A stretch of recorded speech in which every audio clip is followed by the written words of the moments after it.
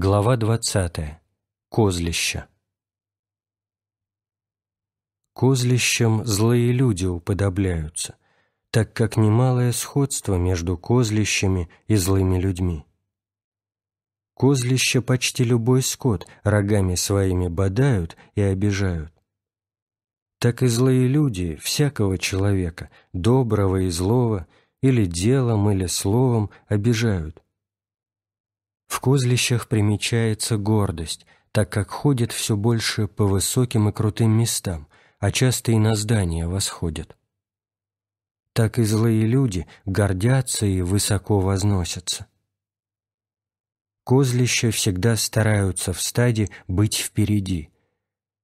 Так и злые люди всегда хотят над другими начальствовать или быть на первом месте. Козлища, когда их влекут куда или бьют, не молчат, а кричат.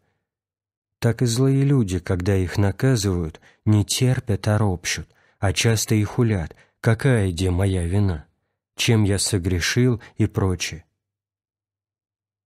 Козлища издают некий особый смрад, так и злые люди смердят злонравием и беззаконной жизнью. Примечай, христианин, сходство козлищ и злых людей, и помни, что написано об овцах и козлищах. И соберутся пред Ним, Христом Царем, все народы, и отделит одних от других, как пастырь отделяет овец от козлов, и поставит овец по правую свою сторону, а козлов по левую.